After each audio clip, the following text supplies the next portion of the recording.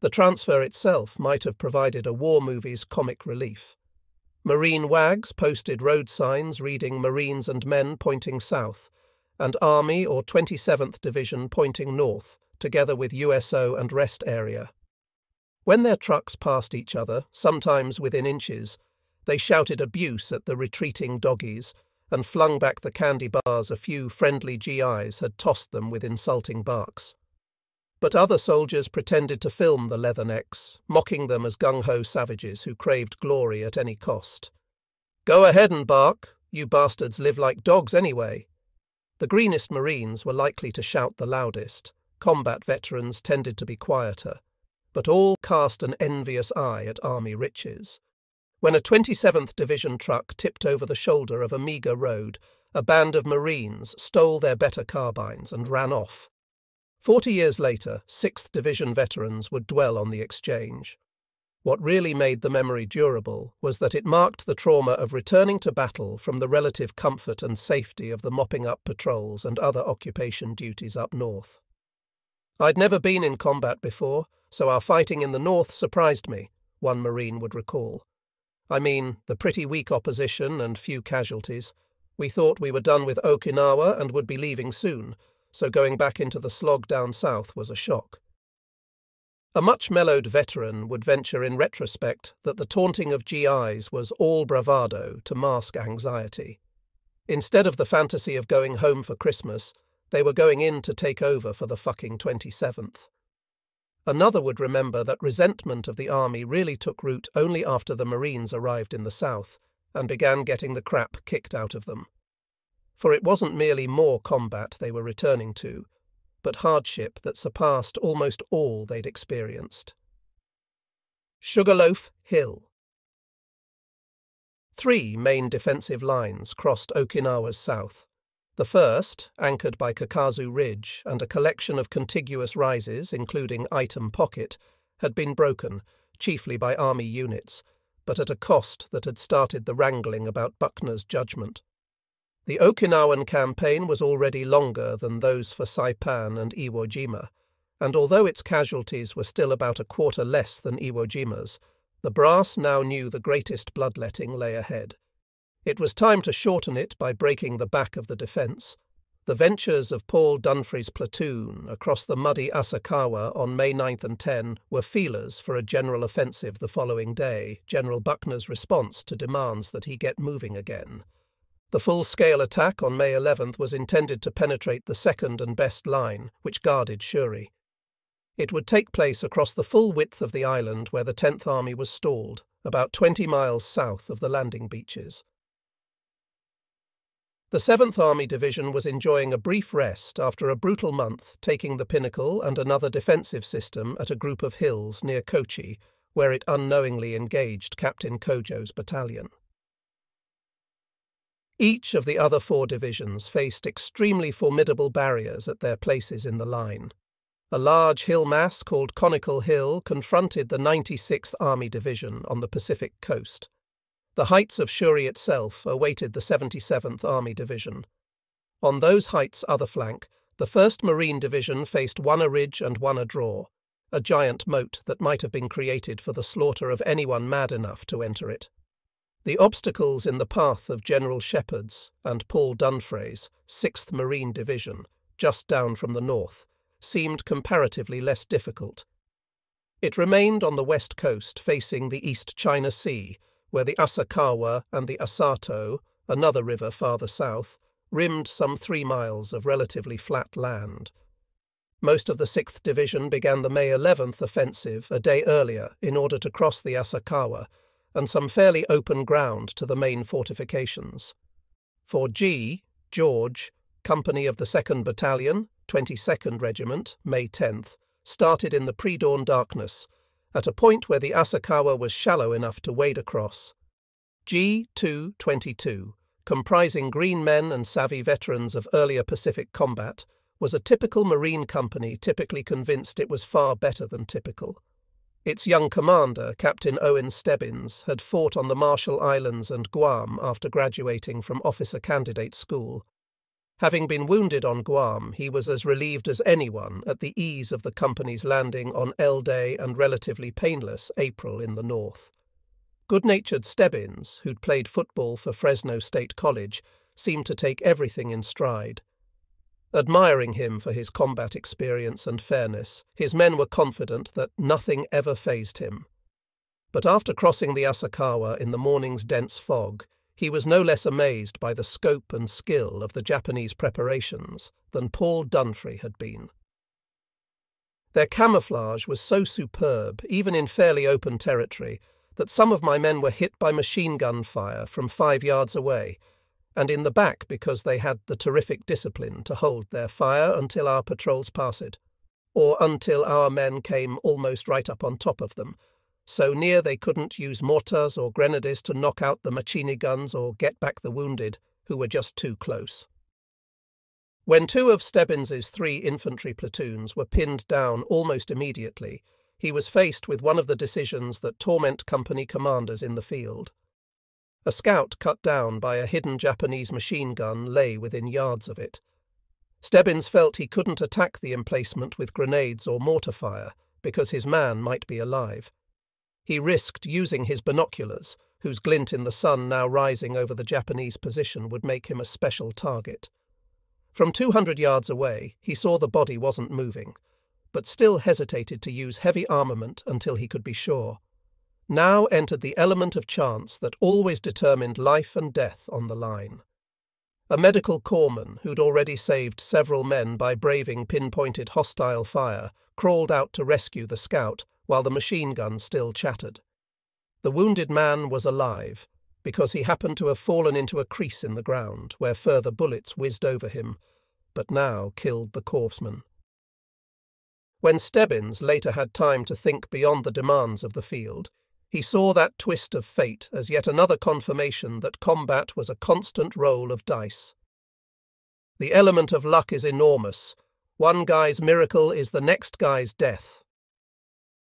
Two long days later, Stebbins's company was again pinned down by heavy, accurate fire from a hill in its path. It had been assigned a platoon of tanks to attack with it by Lieutenant Colonel Horatio Woodhouse, the commander of the 2nd Battalion. After encountering increasing fire as they neared that hill, the four tanks waited some 80 yards back.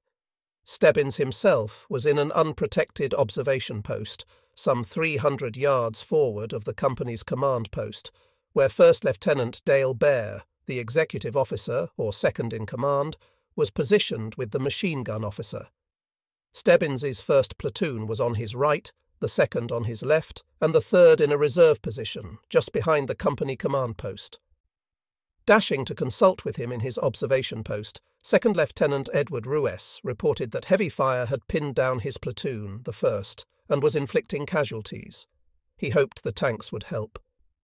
Rising for a better look at how they should use the terrain, Stebbins was quickly hit by three machine gun bullets he would recuperate for several months in a hospital and then go home, whereas the same burst that raked his little observation post, no doubt aimed at him, the officer, killed his runner. By that time, the single surviving rifleman in his forward observation post. His other runners had all been hit earlier. Meanwhile, Ruess had sprinted back to his men, dodging, ducking, hitting the ground every ten yards. Platoon leaders were the officers who stood or crawled beside or in front of their men in battle. Known as one of the best, Ruess was virtually idolized by his men for his leadership. Two days earlier, Stebbins had noticed a dirty bandage the lieutenant was trying to conceal. Shot through the hand the day before, shortly after crossing the Asakawa, he went without treatment in a battalion aid station because he wouldn't leave his men when things were getting difficult, Stebbins also knew Ruess would never let his platoon stay pinhead down long, which is why the captain had chosen it to lead the way onto the troublesome hill ahead. Fearless, tiger quick. Ruess liked to fix the positions of machine guns that were pinning down his men by showing himself to draw their fire. But this hill had too many concealed machine guns firing too great a volume of fire. Trying his daring move again, Ruess was killed. The body of the runner who'd been killed beside Captain Stebbins tumbled into a decline. Unable to find his walkie talkie radio, the captain crawled toward the rear until he was spotted by one of the tanks. It radioed the company command post, and stretcher bearers were dispatched to bring the captain farther back. While he was being bandaged, he told Lieutenant Colonel Woodhouse, who'd run back from his battalion's forward observation post, that the tanks were needed quickly. Woodhouse took First Lieutenant Bair, who replaced Stebbins as company commander, to where they could coordinate another go at the hill. Runners were sent to inform the three platoons to ready themselves for a tank supported attack to be led by Bair. The obstacle had to be taken quickly, as its fire was holding up the entire advance in the area. Casualties among the lieutenants serving as platoon leaders had been especially heavy in the two days following the crossing of the Asakawa.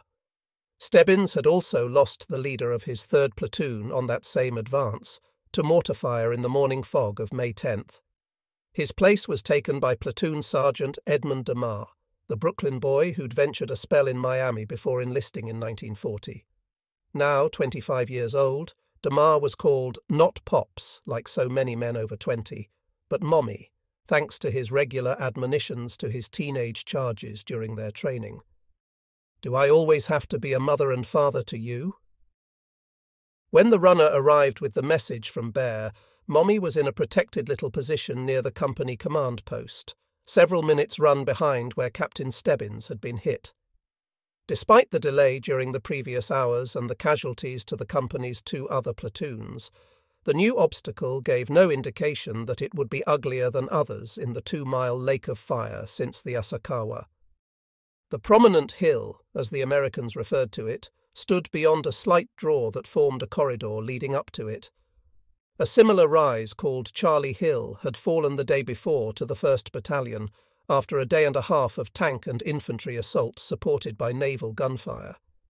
There was no reason to expect the new hill, barren except for a few scrubby trees, would be more difficult. DeMar, studying it again from a few hundred yards north, saw it as just another lump a brownish incline with a little knoll on top. G Company's return to combat had been hard. After suffering only two battle fatigue casualties during its weeks in the north, it lost nine men to exceptionally heavy artillery, mortar, and small arms fire in just two days in the south, including five killed on the first day alone. DeMar's third platoon had escaped from one action only with the aid of a smokescreen, but the company would soon look back to those two days pushing south to here as almost easy going. At least everyone could still keep track of the killed and wounded. Actually, DeMar was reassigning the functions of the missing men in his weakened platoon when the runner arrived with the order to meet with Lieutenant Bair for coordination. DeMar had 28 men left of a full complement of 40.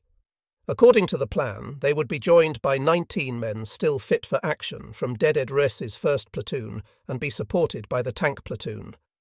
The hill had to be taken quickly because its machine guns and mortars were badly chewing up everything in sight, including other companies. The tanks were waiting in a depression not visible from the hill. When Lieutenant Bair gave Platoon Sergeant DeMar and the replacement for Ed Ruess the plan of attack, they took the usual precaution of squatting far enough apart so that one mortar round couldn't hit them all. They were eager to learn one another's names to avoid calling out Lieutenant or Sergeant, another way of making themselves priority targets for snipers. The plan was straightforward.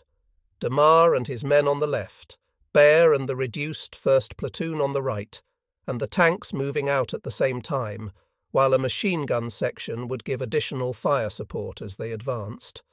The tank commander wanted assurance that he wouldn't be left high and dry. Tanks were a great advantage to the infantry they supported, and the American 10th Army had vastly more of them than the Japanese 32nd Army. But enemy fire of such intensity and accuracy turned even the best American Shermans into a danger too, as targets for concentrated salvos. Veterans learned to control their first instinct to crouch behind them for protection and to mistrust the false sense of security they provided. Especially when anti tank guns and other armament zeroed in on their whistling and clanking, the instinct of troops at their sides was to scramble as far from them as quickly as possible, leaving them vulnerable to dreaded Japanese infantrymen with satchel charges. Against powerful defences, therefore, tanks needed the protection of infantrymen as much as infantrymen needed the extra punch from tanks. DeMar urged the lieutenant in command of those four Shermans not to worry. We'll stick to you like flies on shit. They synchronized watches. Jump off time would be 1600 hours on a signal from Lieutenant Bair. DeMar returned to his platoon and gave the word. Final preparations were made for the attack. Waiting was a miniature pre landing limbo, the men hoping the moment would come soon and that it never would. DeMar worried about them, about the steady Japanese fire from both flanks, and about communications because his radio had been knocked out.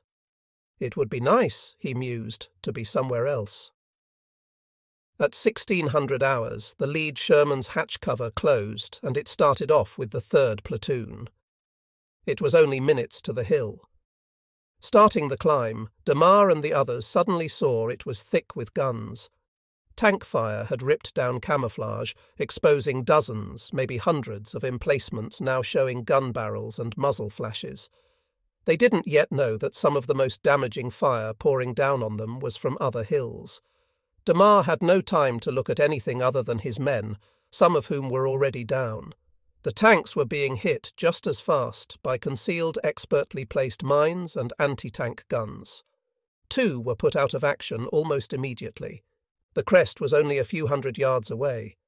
Hoping Audacity would compensate for their lack of deception, the two platoons charged straight up and reached it, but with a much reduced complement. Bair spread his remaining dozen odd men into shell holes, but the Japanese fire was so intense and the American already so diminished that the lieutenant, his radio communications also out, sent a man back to report that G needed help to hold the summit. Racing and dodging down, that messenger could see little movement among DeMar's group, which was getting the hell beaten out of them, Nothing DeMar had seen in combat, let alone in films, had prepared him for such concentration of incoming fire. It very quickly killed many of his men and left others unable to function as fire teams. Soon only a handful remained unhit, most prominently Bair. The big, burly first lieutenant was a man of few words who, like Ed Ruess, had been among the non commissioned officers selected for officer training as the Marines' need for more officers to replace casualties grew. He presented a fine target, but also served as an inspiration to the men as he tried to see to the wounded and rally the others. He motioned to DeMar. Something about one of the disabled tanks, then he was violently spun around, and DeMar saw a large chunk had been ripped from his upper leg. But powerful Bair picked up a 30 caliber light machine gun from alongside its two dead operators, threw a belt of ammunition over his shoulder, and, like a John Wayne character, laid out lead in the enemy's direction, one of the directions. It wasn't long before he took a second hit, this time in the arm cradling his machine gun.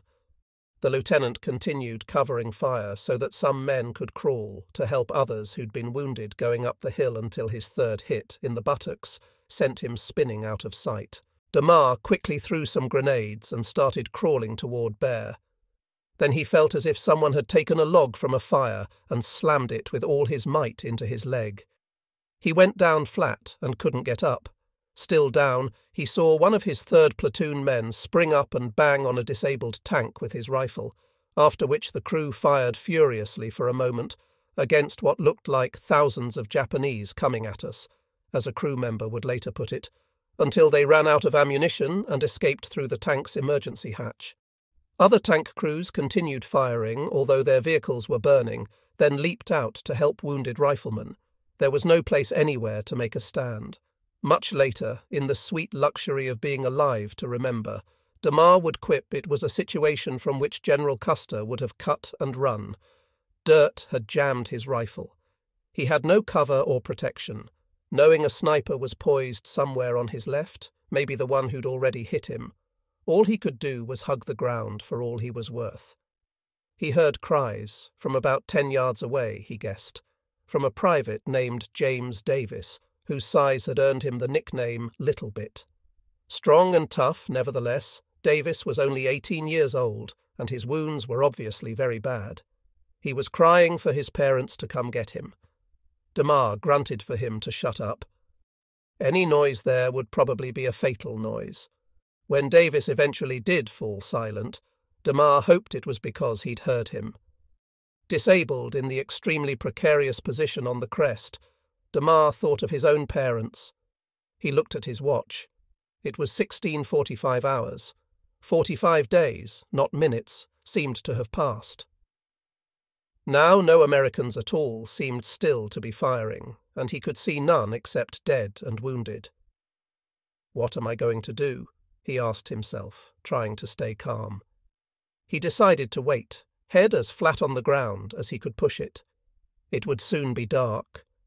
His leg was numb and he'd lost a lot of blood, but he knew he could crawl. A figure slithering down the hill in the dark would most likely be finished off by his own troops, who would take him for a Jap, especially at night when they were the only ones to move. He didn't even have that night's password. But those were problems for later.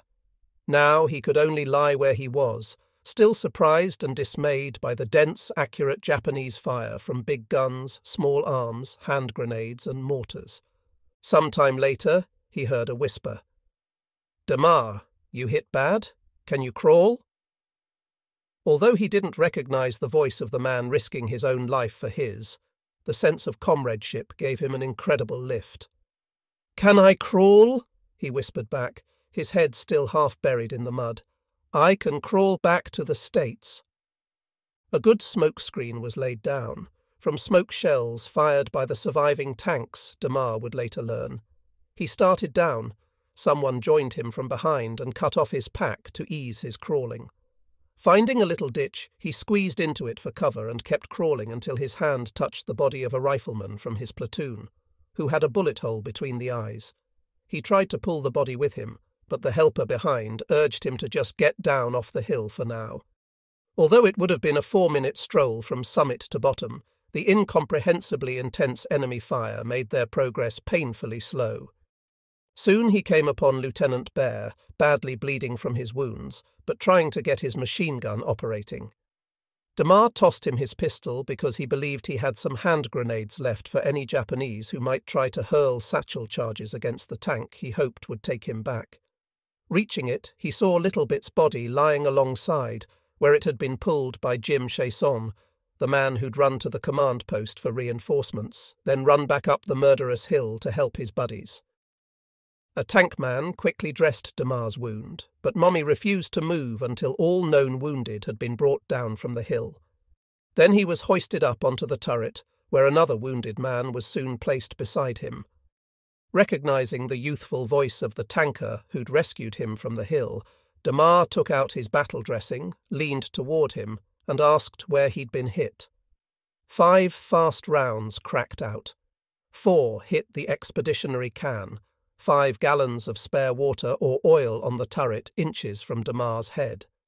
The fifth hit his saviour behind the ear, splattering blood and brains all over DeMar. Gripping the now grievously wounded boy as the tank roared off, he reached for his grenades and found he had none. His pouch had been shot off.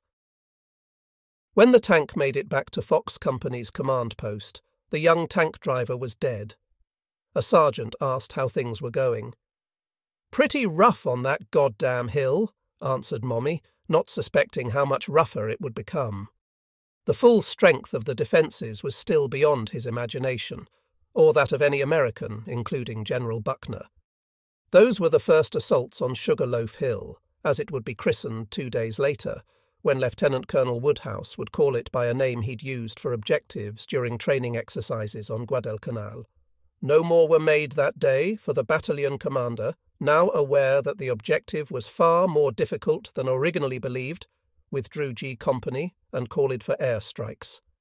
Starting the next day, the sequence of attacks became so confused, with so many Americans cut off from their units, that it was impossible to keep track of who reached the summit before he fell. Besides, Holes from both sides' shelling were so large that men who crouched in them couldn't see members of other units yards away. What was known for certain was that five of DeMar's third platoon were killed and 10 wounded on May 12th, a casualty rate of 50%. Other platoons lost even more men. On May 14th, G Company's three rifle platoons with their machine gun sections had to be consolidated into a single platoon, whose lieutenant would be killed that night. Sustained losses like this would quickly prostrate the 6th Division. The hated hill looked to most Americans less like anything involving sugar than a rectangular loaf of coral and volcanic rock. Stebbins and DeMar weren't alone in wondering how such an object, seemingly less significant than the Kakazu Ridge finally taken by the Army, could cause such slaughter. To the 6th Division staff, it was merely a minor midway station wanted as a platform for fire support against a higher hill called Kokuba, about a mile farther south. Sugarloaf's 300 or so yards of frontage rose abruptly to a height of 60 feet from an area of plain before it, an unhappy feature to those who had to cross that open country, about the size of six football fields. The hill itself was low enough, especially in relation to the others in view of it, including the Shuri Heights, to appear almost negligible, a pimple of a hill, as one Marine would call it forty years later, still trying to fathom how it could have been so evil. A young man in the good shape of all infantrymen could run to its crest in three or four minutes, yet it would cost more casualties than any other single Pacific battle, on Iwo Jima or elsewhere. The next assaults were prompted not only by the continued need to take the hill for the sake of the advance, but also to stop its defenders from rolling hand grenades down on American wounded lying at the base but Shot to Shit G Company was losing its power to attack on its own. Of the 215 men with which it had started on May 12th, down from a full complement of about 250, only 75, including just three officers, were fit to fight by nightfall. The summit was reached again the next day, but rapid counterattacks drove the attackers off. On May 14th, Sugarloaf became the focus of the entire stalled division, the 22nd Regiment was ordered to take it before nightfall at any cost. But more Japanese artillery from Shuri and deadly fire from unapproachable anti tank guns repulsed every attempt. All approaches to the hill that gave the slightest protection of defilade were covered by intense mortar fire. In the late afternoon, the commander of the 2nd Battalion ordered the remnants of G Company to try again, this time together with F Company. When the force of 150 reached the base of the hill two bloody hours later, 106 had been disabled, together with three of their four supporting tanks. Amazingly, the intensity of the mortar and machine gun fire seemed to have increased, although riflemen normally carried almost 200 rounds in their rifles, belts, and bandoliers. The counterattacks from the reverse slope and flanks depleted their supply in minutes.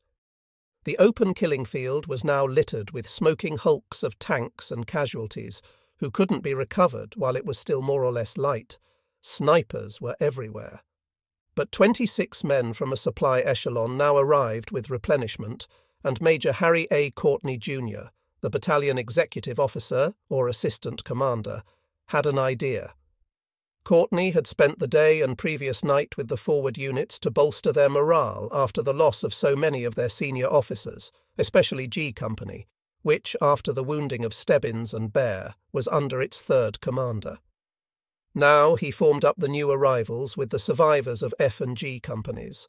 Pressed against the base under devastating fire, the 28 year old major told the group that he wanted volunteers for a banzai of their own, Otherwise, the Japanese would be down with a counterattack in the morning. That hill's got to be taken, and we're going to do it. What do you say? All said yes, and they stormed up after dark, comrades near the base braving continuing fire to collect the dead and wounded from the earlier attacks. At the same time, the exchange of grenades near the crest was at such close range that members of Courtney's group could hear Japanese grunting as they tossed theirs uphill. When Marines answered, their grenades raised so much dust that the hill slope was obscured. The dust turned to mud when a drenching rain resumed a few hours later. Then the rain of Japanese grenades and mortars grew more accurate. Courtney was killed by one or the other shortly after he reached the crest. He would be one of four 6th Division Marines awarded the Medal of Honor, three posthumously, Dale Bair received the Navy Cross. The leadership passed to Ed Pesely, another first lieutenant up from the ranks, who'd taken over F Company earlier in the day when its commander was shot in the hip. The thinning force dug in and threw grenades to try to avert an imminent counterattack by Japanese, seen gathering in the light of illumination shells fired by American ships. A Japanese grenade in a steady barrage of them shot fragments into Pesely. Bleeding from the chest, he radioed Colonel Woodhouse, who told him to try to hang on. He'd get as much fire as he could from every possible artillery battery, Marine and Army. The Lieutenant Colonel stayed on the radio with him all night, calling in coordinates for that artillery. Shortly after dawn, a handful of survivors, some fifteen of the sixty men who had stormed the crest with Courtney, withdrew slightly protected from the severe Japanese fire by a morning mist. One of the lucky fifteen was Wendell Majors, a G Company rifleman who realized sometime after midnight that he was the only man left alive on the hill's left flank. Private Majors began inching closer toward what he hoped would be friends in the centre when a Navy star shell burst into light overhead. He dashed for the cover of a shell hole, jumped in, and felt a searing jolt a bayonet fixed to a rifle, one of many weapons abandoned in earlier seesaw charges by both sides, had entered the back of his right thigh and was protruding from the front. Another lucky one was Irving Ertel, whom DeMar had given command of a machine gun platoon in the emergency of the soaring casualties. Guys were all over the place, wounded, bleeding, dead, and the living could hardly move because you simply couldn't without getting hit. Then it got dark, and I stayed below the crest all night because the air was still really thick with Japanese fire. The platoon was down to a few men. We just didn't have any guys left. Those who were left had reached the limit of endurance.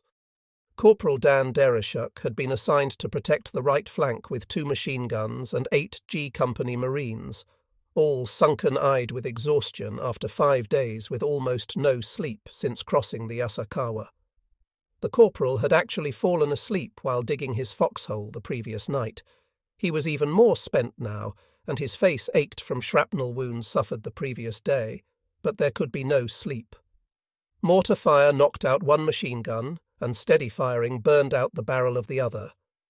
Dereshuk's eight men dwindled to three, one alternately crying out and moaning from a stomach wound, which brought more grenades down on the three survivors but they managed to evacuate at dawn. After the seesawing of May 14th, the 2nd Battalion was a skeleton, and the entire 22nd Regiment was down to 62% of combat efficiency. May 15th was no better. The pitch of that day's fighting probably exceeded any in the division's history. Furious artillery and mortar barrages met the units that moved out early in the morning, the Japanese counterattack that had driven the last of Major Courtney's group from the hill pushed it forward until early afternoon, retaking some precious ground just north of it. By the end of the day, the 2nd Battalion had to be withdrawn because it had taken more than 400 casualties, almost half its normal complement. Owen Stebbins's G222 was down to one officer, a lieutenant who'd become the company commander, and a scattering of enlisted men. Further reduced by sickness and exhaustion, the battalion could field 282 effectives out of its normal complement of roughly 1,000 men. Two boys had returned to combat that afternoon, their wounds from up north patched on a hospital ship and in Hawaii. Not finding their unit before dark, they tried to wait out the night in the safety of a cave. But since all were too packed with other Marines sheltering from the fire to squeeze in, they lay down just outside one of them, under a tepee formed by two huge rocks. A shell found its way even into what seemed that perfect cover and killed them before they could rejoin their buddies.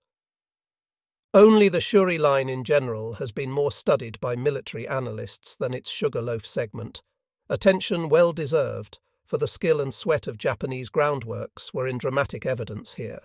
The terrain favoured them almost by the nature of things, defenders almost always fortified the high ground, toward which attackers had to fight from below along predictable routes. In this case, the Japanese had a better view of the attackers than usual, especially from the Shuri heights that dominated the entire area. Their cave exits on the rear slopes and the flanks as well as the forward slope allowed defenders, protected from American shells, to rush out to counter attack Marines, who had reached the summit, and in force, because the unusually elaborate network of tunnels provided safe access for reinforcements. In addition, their machine gun emplacements, hidden mortars, and other defensive arrangements had been sighted with particular care, probably under General Cho's personal direction. The crux was that Sugarloaf Hill, or Heights 51.2, as the Japanese designated it, didn't stand alone in the defensive scheme, although the Marines began by attacking it alone. Much to the contrary, it was one component of a triangular system including Horseshoe Hill on the right and Half Moon, or Crescent, on the left. Those two formed a funnel for pouring dense fire down on Sugarloaf, especially on every square yard of the summit whenever Americans approached it, as Sergeant DeMar and those who followed him discovered. The chance of surviving without a hit was measured in minutes rather than hours.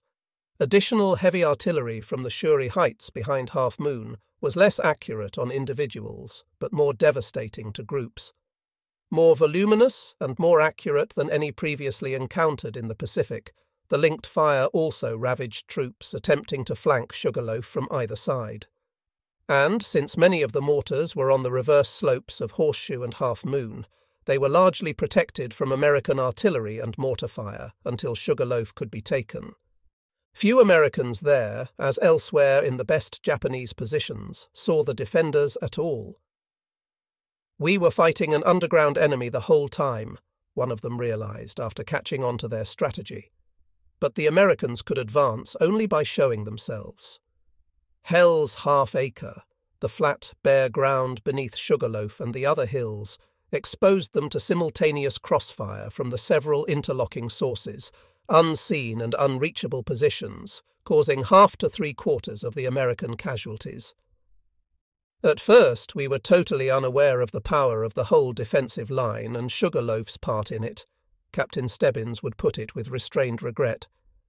It took several days to begin grasping the extent to which it was fortified with pillboxes, tunnels, mazes, and interlocking automatic weapons. It took another day before the mutually supporting system would become apparent, the key to the defence of that whole side of the island. From the air, the full line bore a resemblance to a series of spokes radiating down and out from the hub at Shuri. Sugarloaf was at the end of the one that reached farthest toward the western coast and Naha. That made it the key to the barrier protecting both Shuri and Naha, and explained Cho's personal interest in the preparations there and special reinforcements now ordered by Ushijima. The American response was less well conceived. No matter how heavy the supporting fire, a historian of Pacific combat has put it, a moment arrived when men had to stand up and run across naked ground into a level stream of bullets. But that moment might have been better chosen than on Sugarloaf, whose punishing triangular fort was further argument for devising something more imaginative than the Tenth Army's bludgeon, for outflanking by the line with a second landing in the far south, as General Buckner's critics advocated. However, the pain at Sugarloaf and almost everywhere else in the Shuri line evidently didn't prompt the commander to reconsider. A few infantrymen in the fighting units began to wonder, when off the line for breaks between their maulings, why they seemed to be fighting a Japanese fight, almost hand to hand, despite their huge advantage in equipment and firepower. The much vaunted, perhaps congenitally over optimistic American intelligence had again failed, in this case to give unit commanders like Captain Stebbins and Sergeant DeMar any idea of the deadliness of the Japanese preparations. Japanese forward observers happened to use Hill 51.2 for spotting during their months of artillery training. Thus, their knowledge of the terrain was such that they often didn't have to adjust because they fired on the right spot the first time. We couldn't have done them a better favour than attacking there, according to General James Day, who fought on Sugarloaf and studied it during many later tours on Okinawa. They had us beautifully zeroed in, Sergeant DeMar knew that without later study. It was like target practice for them from all those damn hills. They had every foot covered with grids. Above all, it was pounding from Shuri's big 150mm guns, hardly seen before in the Pacific, that made the battle horrendous for the Marines. As the crow flies, Sugarloaf was about a mile from the 32nd Army headquarters in the tunnel deep beneath Shuri Castle. The battles being waged simultaneously along the rest of the eight plus miles of the main Shuri line, separate pitched battles into which Buckner's general offensive had broken down almost immediately, were equally ferocious, though they seesawed less between attack and counter-attack. The Shuri line was accomplishing for the Japanese much of what the French had hoped from their Maginot line, and that was far more Ushijima's feat than Imperial General Headquarters, since their support of him had been minimal for a campaign of such importance. Clinging to their fundamental belief in attack, IGHQ had resisted the Ushijima Yahara strategy of a war of attrition fought from underground. Besides, they had already decided that the Tennozan of Tennozans for which all possible arms and equipment had to be husbanded, would take place on the mainland. Thus, the Shuri Line was essentially the 32nd Army's own creation. Almost a quarter of a million men faced each other there. Two great armies, in William Manchester's telling image, squatting opposite one another in mud and smoke, locked together in unimaginable agony. In World War I's deepest combat, Manchester continued, Battalion frontage, the length occupied by the battalion's thousand odd men, was approximately 800 yards. Here it was less than 600 yards, about 18 inches per man. The military analyst Thomas Huber would agree. The fighting on Okinawa had features that were all its own, but even so, its dynamics bore a startling resemblance to the fierce no man's land fighting of World War I. Almost without exception, the Japanese had constructed a fortified position on every hill and ridge line, with other positions heavily covering their approaches. Taking each little knob and crease, even when only ten yards away, was an operation in itself. A rear echelon army colonel who visited one of the line's easier sectors during a relative lull in the fighting was almost as overwhelmed as a civilian would have been. It was no miracle that two such congregations of men could cause each other so much torment. By that time, both had absorbed lessons that made the fighting harder. The Americans, among other things, had learned how to keep getting water and supplies to the front so their men could stay there. The Japanese had learned that the Banzai attacks to which they'd resorted on other islands were far less effective than the methodical warfare they were waging here. Despite the Marines' conviction that they were being used for target practice, the Japanese agony was greater than theirs. Sugarloaf's defenders were remnants of the 62nd Division, which had opposed the American attacks in most of the South, reinforced by the 15th Independent Regiment, airlifted to Okinawa the previous July to supplement the 44th Independent Mixed Brigade that had been largely lost on Toyama Maru. Led by a highly skilled colonel named Seiko Mita, the 15th Independent Regiment was also suffering heavy losses. But the Sugarloaf complex had to be held as long as possible, and Ushijima committed some of his last reserves of well trained infantry troops to reinforce the defence during the night of May 15th. They included a farmer named Masatsugu Shinohara. When the Americans had landed, Shinohara was stationed about 15 miles east on Tsuken Island in the Pacific. Tiny Tsuken controlled the entrance to large Nakagusuku Bay, which the invaders needed for an anchorage and landing supplies. Some 250 Americans set out in 10 yellow rubber boats to take the little dot on the morning of April 6th, roughly when Yamato was setting out for Okinawa.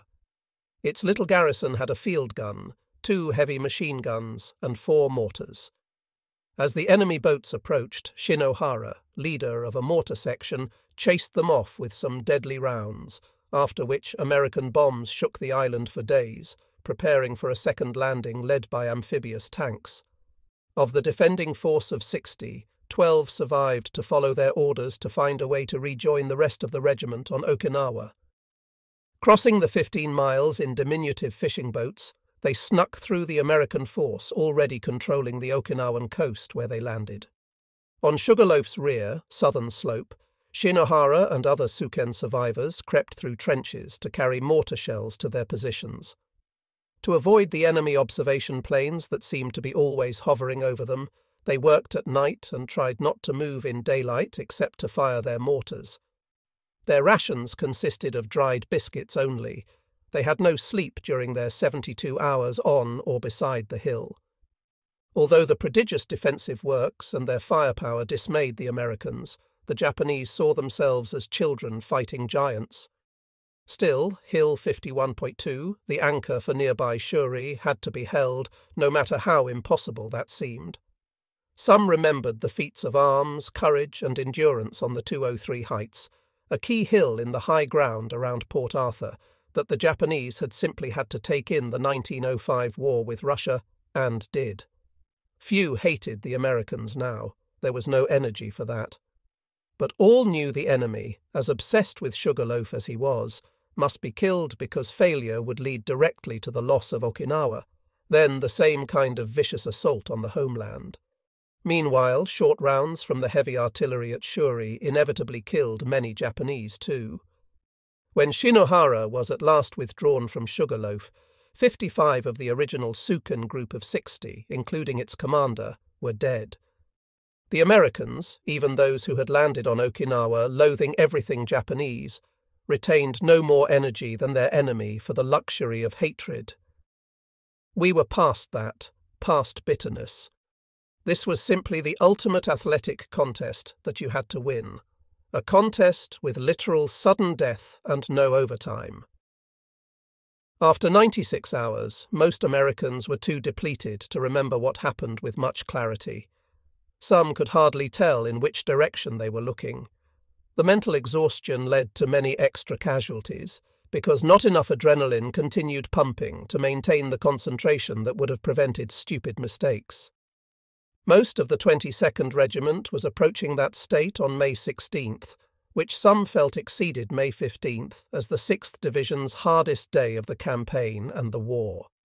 Several companies of the 29th, including Dick Whitaker's, had recently joined the battle. Units of both regiments launched a general assault on the hill from the front and both flanks, and were met by crippling defensive fire. Replacements had replaced replacements, and reformed units were again so badly shot up that some survivors had to take their organisation into their own hands. The day's huge losses had again produced no territorial gain. Before dark on that May 16th, Anthony Cortese of Company I322 ran to the top of a little hill called Chocolate Drop and looked at Sugarloaf through his lieutenant's binoculars. He couldn't believe what I saw. It was covered with dead Marines, a few enemy too, but mostly our guys, maybe a few hundred in my view alone. Cortese also saw some Japanese rebuilding their positions and ran back to tell his lieutenant that Sugarloaf had to be softened up with more artillery before they went in. But the next day, up we go into the slaughter, just like the others. That next day, three battleships moved in close to blast Sugarloaf, Horseshoe, and Half Moon with their heavy guns while aircraft carriers launched waves of bombing strikes. Then all three hills were attacked. Cortese's company of 245 men ended with three fit to fight. Two of them, including Cortese, quickly set up a machine gun to stop a counterattack until yet more reinforcements could be rushed in. Dick Whitaker was told his go at Sugarloaf was the 11th, when his stint unloading invasion supplies on the landing beaches ended and he was assigned to F Company, 29th Marines, Private Whitaker was made a helper in a machine gun squad, charged with lugging ammunition to the gun and protecting it with his rifle. Both his cans of 30 caliber ammunition, carried in addition to his pack and his own M1 ammunition, weighed about 20 pounds. But the hill seemed to him, as to all the others in the previous ten or so charges, almost insignificant in size, especially in its present blackened, denuded condition. His platoon began attacking it shortly after seven o'clock on the morning of the 17th, single file, Whitaker third in line. Mortar fire cascaded on the little column as if the Japanese had been preparing for them alone throughout the night. Running, panting, sweating, thinking of nothing, not even of what his body was doing, Whitaker pushed forward and upward as if the absurdity were happening to someone else. Three squads with three water cooled machine guns followed a lieutenant whose name he couldn't remember, the young replacement having appeared only hours before to take over the platoon. The attack plan, to move right at the crest, never had a chance. Whitaker couldn't tell where the bullets and shells were coming from, only that he now understood the expression withering fire. As the men neared the crest, enormous and stunningly accurate fire from mortars, machine guns, and rifles deluged them, shaking the ground. When they reached it, they were showered with hand grenades from unseen positions on the reverse slope. The next minutes seemed years. At the crest, the platoon couldn't unlimber their guns. Even if the right targets could have been found, it was impossible to set up the machine guns because each move out of a shell hole or scar in the ground brought another deadly burst of fire. Whitaker's gunner was hit. The new lieutenant was killed four steps in front of him. When the platoon finally did manage to set up despite the casualties, it was so outgunned that the men hardly knew where to shoot. Desperate non stop firing burned out the barrels of all three machine guns. Whitaker realized that even if they somehow held on, the Japanese on the reverse slope would continue pinning them down indefinitely. He was frightened out of his mind, yet impervious to fright because the scene was beyond his ability to grasp. Down the line from him, more men kept getting hit as they sought cover until someone, Whitaker thought a sergeant, yelled, Let's get the hell out of here. But getting out would prove harder than getting up. Whitaker and another private named John Centerfit picked up their gunner, groaning from a bad stomach wound, and tried to take him down to safety. Fierce mortar fire resumed the moment they started. Panting from the strain and from exhaustion, they took a measure of refuge in a shell hole. Other men passed them, carrying and supporting their own wounded through the smoke. Corpsman! they yelled. Corpsman! A corpsman was found only when the two crawled to the bottom and across a portion of the open killing area to the marginal protection of the back of a small elevation north of the hill. Without glancing back, Whitaker carried the noise of Sugarloaf's ferocious fire in his ears. It was not yet 8 a.m. on the fifth day at the hill. His fifteen minutes going up, taking fire, and coming down had been beyond belief. It would later strike him that war is hell was a silly metaphor because no one has been to hell with the possible exception of Dante. He would prefer hell is war, but such conceptual notions did not come to him in the filth and fear themselves, when nothing mattered that wasn't immediate, instant. One of Ernie Pyle's last observations on Okinawa was that life up there at the front is very simple, very uncomplicated, devoid of all the jealousy and meanness that float around a headquarters city. Men continued worrying about their buddies after coming down from Sugarloaf.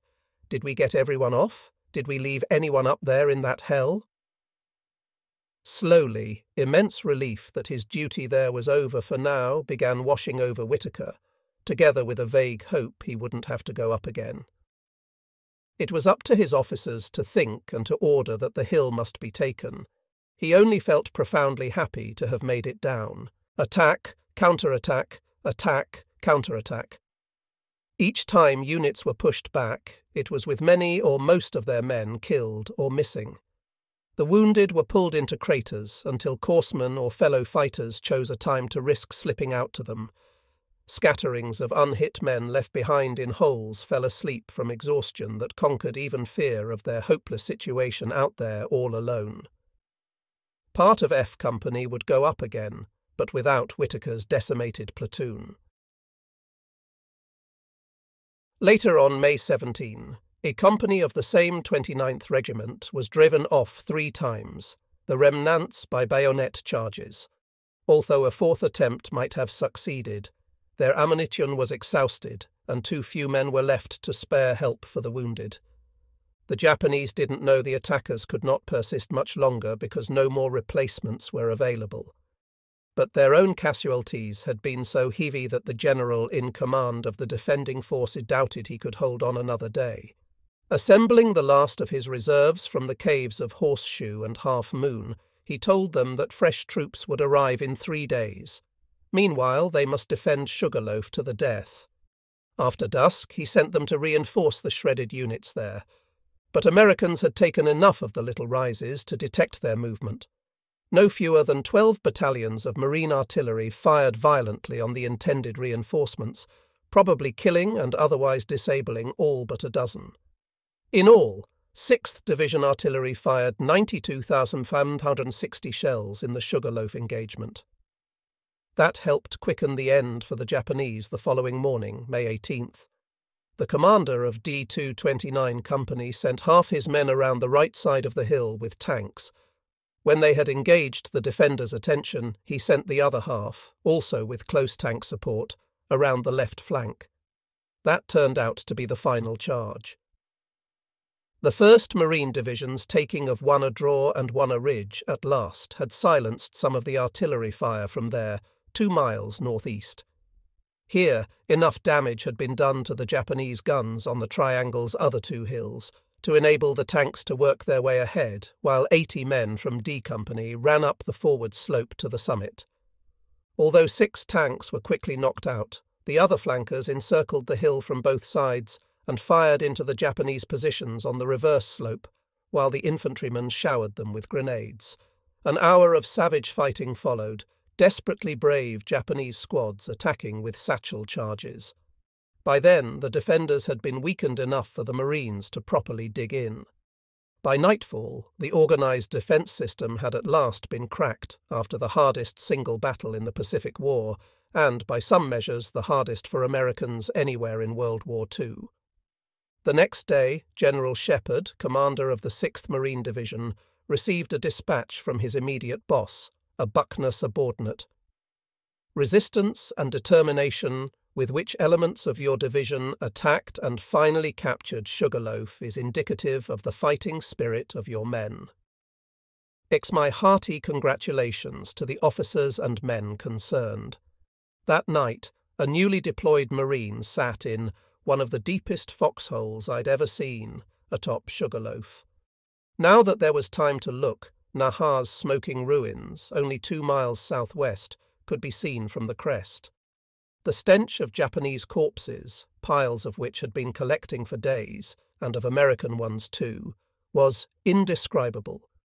His own squad was down to four men.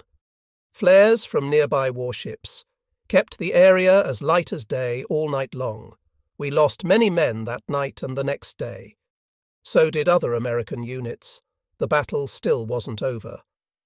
Sister companies D and E of Whitaker's F Company took heavy casualties on May 19th and 20 from fire from Sugarloaf's rear slope as well as neighbouring hills.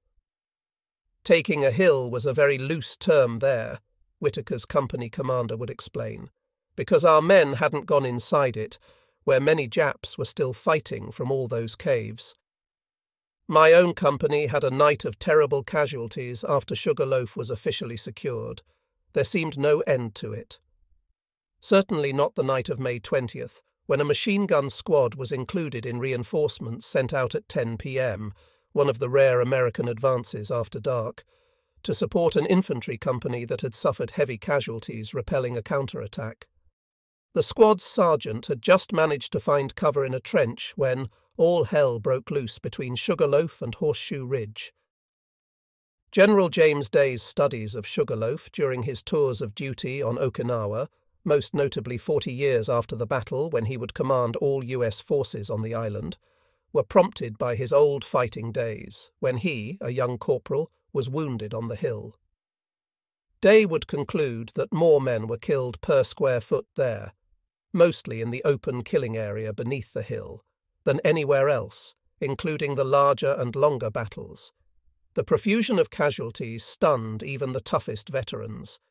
Nearly 3,000 were killed and seriously wounded, roughly the same as on all of Tarawa and more than at Cassino, and up to 50% more than the worst battle for a single position on Iwo Jima. an additional 1,289 men were lost to sickness and combat exhaustion, but the numbers can't convey their effect upon the survivors. There was little hyperbole in a Marine's lament that battalions melted away, companies vanished. Parts of four battalions were mangled. Several rifle companies ended with a dozen men from their normal complement of roughly 250.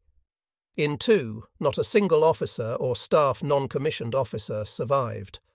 In many others, privates ended in command of their shattered platoons. In Marine Evacuation Hospital Number 2, four or five men receiving transfusions in shock positions on litters learned they were their entire rifle company's only known survivors.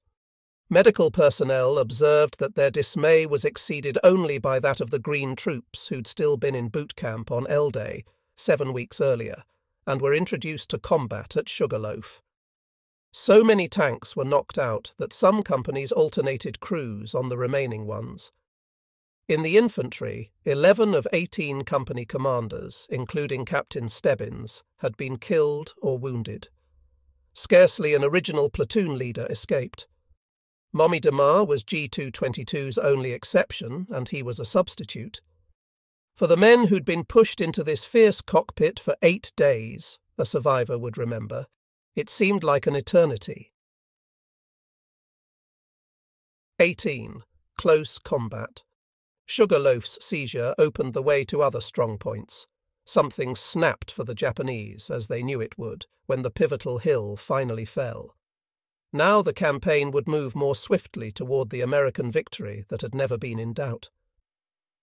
But that's the historical view, reached in retrospective examinations like this one, which are as distant from the war as the daring new swimsuit advertisements installed in New York subway cars during the weeks when the Shuri line was mangling 12,000 Americans. No one who dragged himself out of a foxhole at dawn knew that a climax had been reached around May 20th. The fighting remained equally desperate, if smaller in scope, at the hundreds of other fortifications that gave the campaign a fury, a storm of devastation, that surpassed the ground fighting seen anywhere else in the war, as Geoffrey Perret, a historian of U.S. Army operations during World War II, would write. Together, the two Army divisions east of Shuri took almost as many casualties as the 6th Marine Division on Sugarloaf to the west. The 1st Marine Division suffered more during the first two weeks of May than the 6th during the two weeks that included Sugarloaf. Okinawa's southern landscape was studded with hill turrets that repelled assaults like the posts of a pinball machine. There was the Chocolate Drop Wart Hill Flat Top Hill Complex, the Tiger Charlie Oboe Hill Complex. There were Hen, Hector, Conical, Red, Nan, Mabel, William, Howe, and Dick Hills, Rocky Crags, Kakazu West, Hills 60 and 178, Skyline Ridge, Ryan's Ridge, Gaja Ridge, hundreds of ridges and rises festooned with hidden gun emplacements, scores of escarpments where the Japanese positions were just as murderous to those hit by a howitzer shell or machine gun bullet. The struggles for those places differed chiefly in their duration.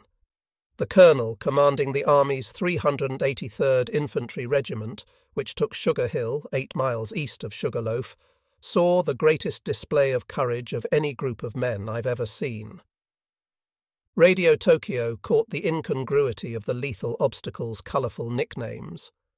Sugarloaf Hill, Chocolate Drop, Strawberry Hill, gee, those places sound wonderful. You can see the candy houses with the white picket fences around them. But the only thing red about them is the blood of Americans. Perhaps that broadcast intentionally omitted such ridge names as Hand Grenade, Hacksaw, Bloody, and Tombstone. There was also ironically named Easy Hill on the Oroku Peninsula, where units attempting an encircling movement would take fire from fellow units, and Lenley Cotton, the boy who'd schemed himself into combat by going AWOL, couldn't fire for fear of helping cut down Americans. Cotton's platoon leader shouted for binoculars, and someone handed him a pair. A bullet shattered his head before he could focus.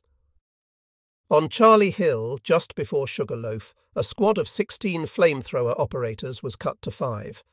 Two of those five were again advancing when a stunning barrage of mortar fire landed a shell between them, killing one and tossing the other through the air, the flamethrower ripped from his back. The following day, the latter was resting below the hill, nibbling at a C ration.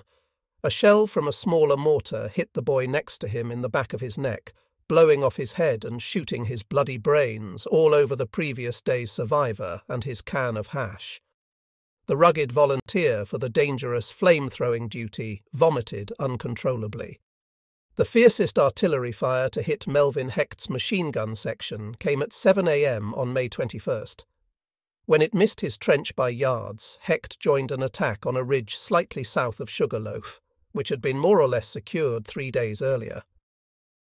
May 23rd, when the unit pushed toward the outskirts of Naha, was similar, except that several survivors cracked up under the strain, and one of the KIAs was good old Al, a staff sergeant who carried ammo when he could have been in rear echelon, a boy who volunteered for everything. One of that day's wounded had a leg blown off. They carried him into a wrecked hut and amputated with a kabar and pocket knife. Davis took it like a man and only screamed once. Tex Duriso sharpened the knife and off came the stub. Now five were left in Hecht's machine gun section, eight having been killed, nine wounded, and one more or less permanently deranged. So it went for many fighting units. While it was strategically downhill from the breaking of the Shuri Line's cornerstones and historically inevitable, very few fighters had any notion of that at the time.